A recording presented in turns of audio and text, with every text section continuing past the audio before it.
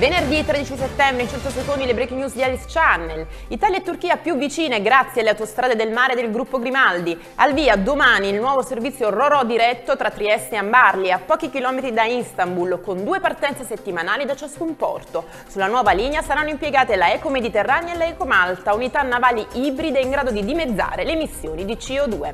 E si è appena concluso all'Hydrogen Expo 2024 di Piacenza l'intervento del vicepresidente di Alice, Marcello Di Caterina, che evidenzia evidenziato la necessità che vengano adottate dall'UE misure meno rigide nel processo di transizione. Non è pensabile, ha affermato Di Caterina, procedere senza prendere in considerazione l'impatto che la normativa avrà sugli operatori e sui mercati.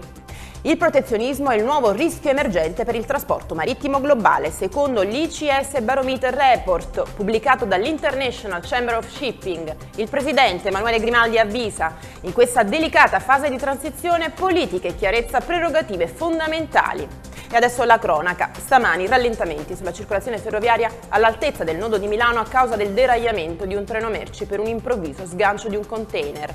6 le persone rimaste ferite, la dinamica è in corso di accertamento. E sempre a Milano è di tre morti il bilancio di un incendio divampato nella notte in un emporio di articoli cinesi alla periferia nord della città. Le vittime sono tutte giovani di nazionalità cinese, non è stata esclusa la matrice dolosa. Chiudiamo con i mercati finanziari, borse europee in territorio positivo all'indomani della decisione della BCE di tagliare i tassi di 25 punti base. Piazza Affari poco sopra la parità, limato lo spread a 138 punti.